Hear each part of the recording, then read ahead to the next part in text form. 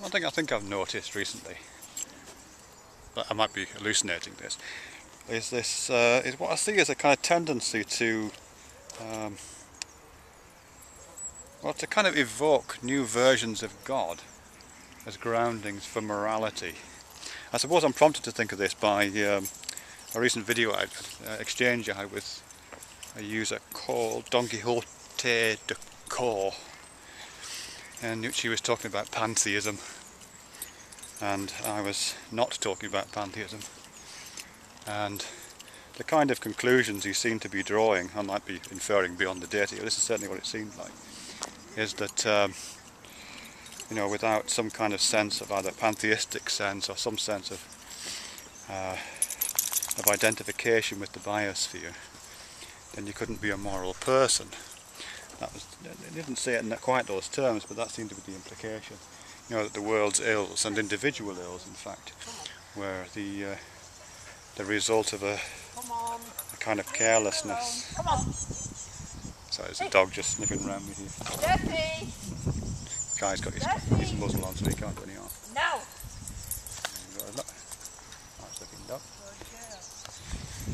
Anyway, yeah, what was I talking about? Yeah, yeah, pantheism. This is really, um, yeah, I, I, have a big problem with that really. Uh, what it reminds me of is that whole idea that you find in William Lane Craig and you find in lots and lots of Christian texts particularly, uh, and you find a lot on, uh, amongst fundamentalist Christians here on YouTube, that without God it's impossible to be good. Without God it's impossible to be good. And I know there's a lot of atheist refutations of that and counters to that. In fact there's a book called Good Without God um, which contains a lot of the arguments around. I haven't read it yet, but I've read about it. It contains lots of the arguments about that uh, from a kind of humanist perspective.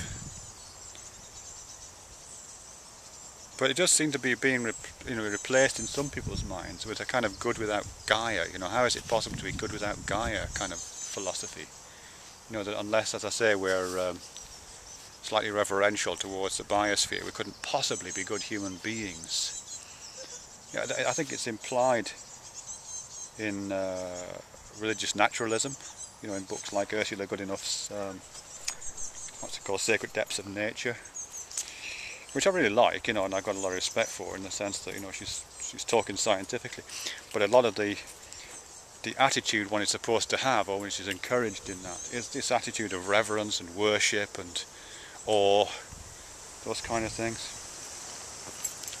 And I don't really like having my feelings constrained and, and uh, legislated in that way. You know, that unless I'm feeling slightly religious, slightly sacred about the way the world is, then I couldn't possibly be a good person within it, which I think is lurking in there. And I think we even find it in, um, well, heavily implied at least, in some scientific writing.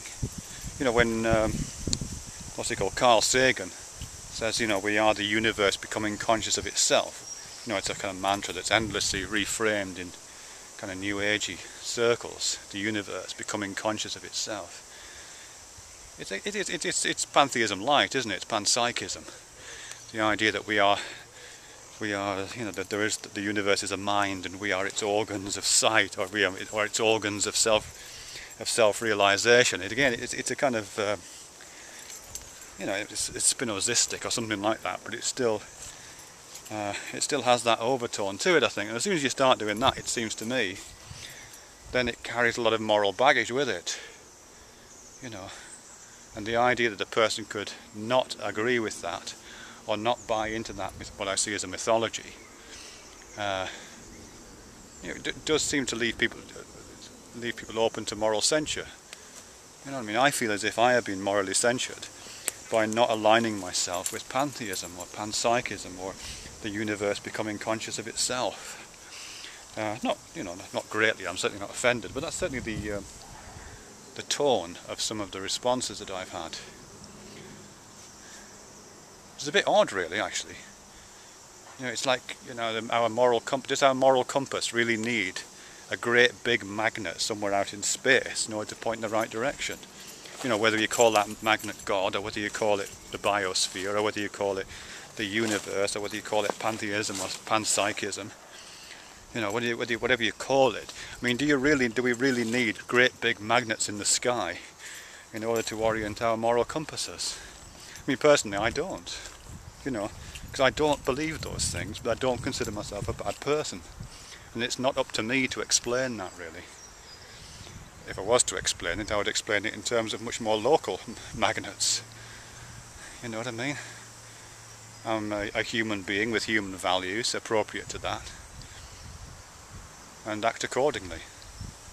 You know, um, I don't, I don't want or need a great big magnet in the sky.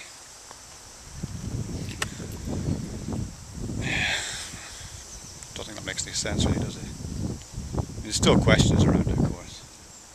But I do think that whole idea that if you're not on board with the pagan pantheism thing, or you're not on board with the kind of David Chalmers universe panpsychist Fechner thing, then uh, you are necessarily a moral nihilist or a moral relativist.